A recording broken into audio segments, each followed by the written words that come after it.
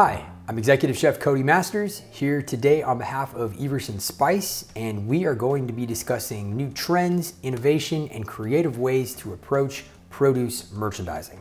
As we start to dig into the world of produce trends, it's very important to first recognize that we are in a very interesting day and age in regards to all of this. No longer is the food service restaurant industry sort of setting the tone or raising the bar, but instead, retailers now are empowered and emboldened to take chances and push the limits on how you're going to present produce and innovation surrounding that to your consumer. At the end of the day, the name of the game in regards to all of this is value added. We are going to evaluate various ways in which you can introduce new value added methods into your produce area. And that is going to not only be flavors or ways in which you can use existing ingredients and create synergies interdepartmentally, but also innovations in consumer appliances. Behind me, you see something like an immersion circulator for a sous vide cooking bag method of preparation or oldie but goodie, still very present in today's modern kitchen. This is a combination of a slow cooker, pressure cooker, and air fryer.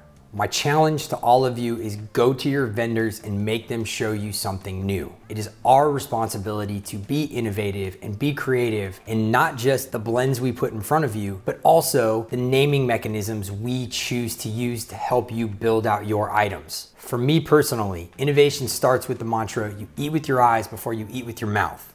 In front of me, I have flavors like fire roasted pineapple and green chili, smoky blueberry and balsamic, citrusy mojo pimiente, buttery apple bourbon, peach maple bourbon. Incorporating fruit fusion, alcohol fusion into savory flavors is never going to get old.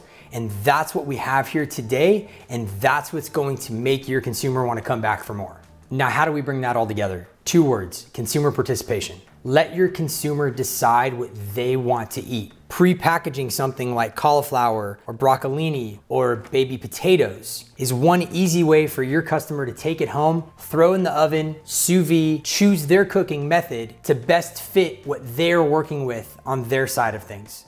Now you choose how you wanna offer the flavor. It can be something as simple as a shaker, maybe add a little bit to a ramekin to let your customer take home so that they feel like they're a part of the process. You could build out compound butters. You could turn it into marinades. You could even take the flavor that you've decided upon and incorporate it into a stuffing blend like I have in front of me, which would be perfect for a stuffed acorn squash, zucchini, yellow squash, poblano, even mushrooms that I have back behind me. I also think it's very important to address one of the biggest variables that the produce section of any market is facing today, and that is plant-based plant-based meat alternatives. Let me be very clear in my stance on this. They are not your friend.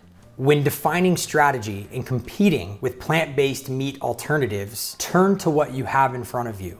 Take something like my Flexitarian blend built on the back of an instant quinoa I've incorporated the largest vegetable particulates and visuals I can find, as well as very creative flavors, a sriracha honey, a maple bourbon, a jalapeno and garlic, simple but effective. This can be hydrated and used as a stuffing on its own, incorporating whole grains, those vegetables, marketed as a superfood, or as a means to create synergy with your meat department, you could also take this, blend it with ground beef, ground turkey, ground chicken, and then use that in a plethora of ways across what you have available in your section of the market. Finally, let's not forget about fruit. Applying a simple seasoning of a zesty lemon ginger, a tropical citrus mojito, fire roasted pineapple green chili, maybe even something more savory like a Hawaiian mango barbecue or a bacon jam is a wonderful way that you can take something that people are already so receptive to and excited to eat just to that next level and continue to evoke that intrigue.